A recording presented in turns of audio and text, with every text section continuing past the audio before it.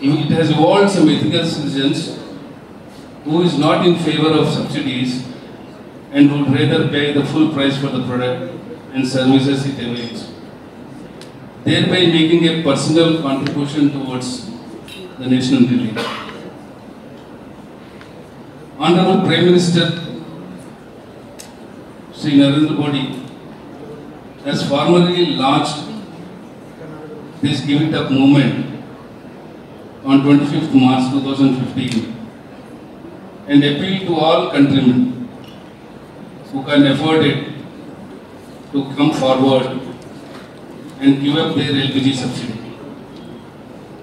Give It Up campaign launched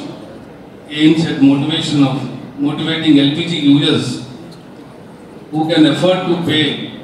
the market price of LPG and voluntarily surrender their LPG subsidy. Recently,